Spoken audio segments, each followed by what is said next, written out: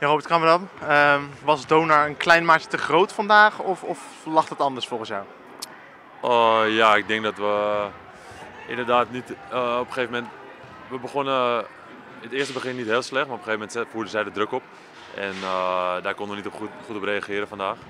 En wat wel goed is, denk ik positief van vandaag, is dat we wel bleven knokken en aan het eind toch nog ja, iets, iets wat terugkwam in de wedstrijd. Maar dat was niet genoeg om, om die wedstrijd nog te kunnen winnen. Nee, want uh, jullie kwamen in het laatste gedeelte, uh, lieten jullie goed spel zien, kwamen jullie als enigszins terug. Heb je nog eens iets van, als we dat de hele wedstrijd doen, dan valt er misschien wel meer te halen? Of, of was dat puur omdat Donar wat verslapte in jouw ogen? Nou ja, natuurlijk is het zo. Het is een combinatie van. Ik bedoel, uh, is een game waarin je vaak momentum hebt en runs hebt. En het team dat het meest consistent speelt, die, die ja, is vaak de winnaar uiteindelijk. En Donar heeft gewoon ook wel een duidelijk systeem en visie waar, waar ze gewoon effectief mee zijn. Maar ik denk dat we vandaag wel meer ingezeten hadden. Aan de andere kant uh, ja, hebben we gewoon een moeilijke periode doorgemaakt als team. En uh, ik, ja, ik, ben hier nu vijf jaar. Eigenlijk ieder jaar ging het een stap beter en dit jaar is het wat minder. Er zijn verschillende oorzaken voor, zoals blessures en, en natuurlijk een coachwissel. Maar goed, daar wil ik het niet aan wijten. En uiteindelijk proberen we het seizoen toch wel positief af te sluiten. En het mooie van de playoffs is dat iedereen op 0-0 begint. maar we hebben wel weinig tijd om, om de boel toch wat beter op de rit te krijgen. Ja, want jullie, uh, uh, je noemt het zelf al, hè? Een, een minder seizoen. Uh, ja, waar, ja, waar weet je dat dan aan? kan je dan een paar oorzaken daarvan doen? Nou ja, ik denk het is sowieso een beetje een transitiejaar. Omdat we hebben natuurlijk wel, wel de naam Feyenoord, maar in de organisatie veranderden wat dingen.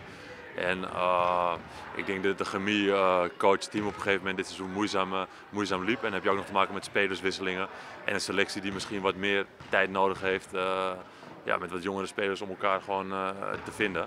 En dat, uh, dat klikte gewoon wat minder. Dat heb je soms, dat het gewoon uh, iets minder in balans is dan andere jaren. maar het neemt niet weg dat er wel hard gewerkt wordt door al die jongens om, om het beste ervan te maken. Deze laatste wedstrijden van het seizoen waren natuurlijk eerst cruciaal om die play-offs nog te halen. Nu met het wegvallen van de, van de windmills ja, zijn die play-offs jullie eigenlijk in de, in de schoot geworpen. Wat voor effect heeft dat dan op de groep? Nou ja, ik vond het eigenlijk wel jammer in de eerste zin natuurlijk voor het basketbal. Want je wil zoveel mogelijk teams natuurlijk in de competitie hebben. En ook voor de spelers van Dordrecht is het gewoon triest dat het, uh, dat zo loopt. Um, ja, ik had liever toch wat meer spanning nog gehad voor die players. Dan had je gewoon drie, vier ploegen die echt daar nog aan, voor aan het strijden waren. En nu is die spanning toch wat minder.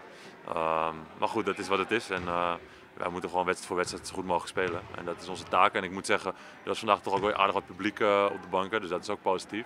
Dus het minste wat wij kunnen doen is daarvoor gewoon blijven knokken nieuwe coach volgend seizoen, Toon van Helfteren. In hoeverre heeft dat nu al invloed op jullie? Uh, spelen jullie daar nu al mee in jullie hoofd?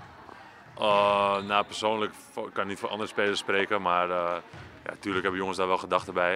ik denk hij is natuurlijk een grote naam en zeker voor deze club ook een, een stap voorwaarts, denk ik. record international, record coach ook. En ja, zijn team staan gewoon altijd voor een goede verdediging en een gestructureerd spel.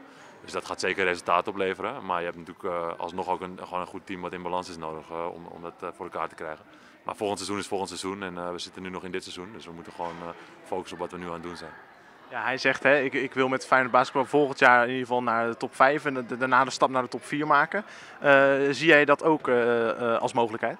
Ja, kijk, we hebben de afgelopen jaren natuurlijk al op de vijfde plek gestaan en gespeeld. En daar zijn we, hebben al naartoe gewerkt.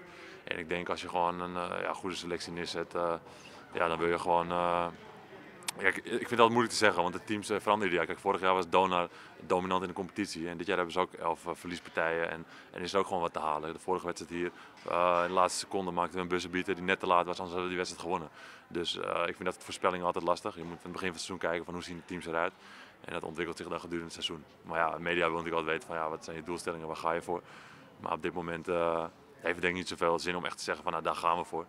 Um, maar het is wel realistisch om voor de top 5 te gaan. En dat hoort deze club ook te doen met de fans die hier nu komen. En de naam Feyenoord natuurlijk. En, uh, en de coach Toon van Helfteren. Ten slot, uh, dit seizoen, hoe hoop, uh, hoe hoop jij en hoe hopen jullie bij Feyenoord Basketbal dit seizoen nu af te gaan sluiten? Nou ja, ik hoop dat we de komende twee wedstrijden gewoon in ieder geval een winst om kunnen zetten. Als beloning gewoon voor het harde werk wat we toch in de laatste weken wel verzet op trainen. En dat het gewoon in de wedstrijd gewoon op het moment gewoon klikt. En dat het gewoon lekker loopt. Dat we ja, in een flow komen. Dat we gewoon even lekker basketballen met z'n allen. En dat we... In de play-offs ook gewoon uh, kunnen strijden. En natuurlijk wordt dat lastig, want je speelt tegen de nummer 1 of de nummer 2. We weten niet precies. Leiden, Zwolle, waarschijnlijk Leiden. Weet je wel. Maar ja, we moeten gewoon uh, wedstrijd voor wedstrijd bekijken. De eerste ronde is best of three. Dus als je er eentje kan winnen, ja, dan is de druk al hoog voor de tegenstander. En wij hebben niks te verliezen.